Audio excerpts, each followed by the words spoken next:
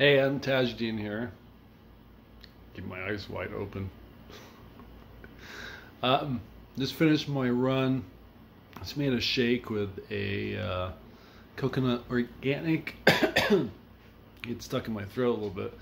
Organic coconut milk, kale, chard, spinach, all organic, and organic protein mix. And I added organic ginger.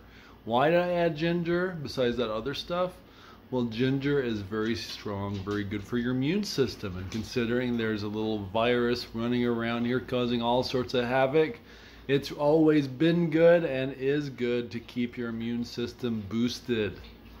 That way, if anything comes your way, you can fight it to your best of your ability. Don't you want that? If you, even if it's just a cold or a flu or allergies, which I have, your immune system is what fights it off.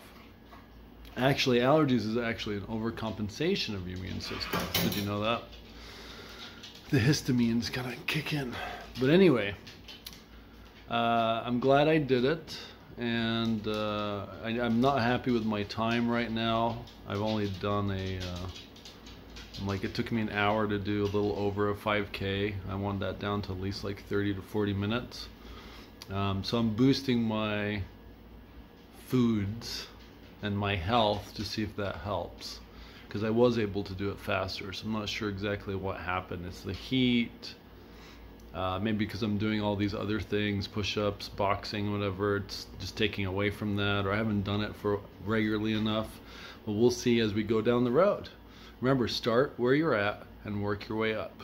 Live powerfully and listen to your voice not anyone else's. See ya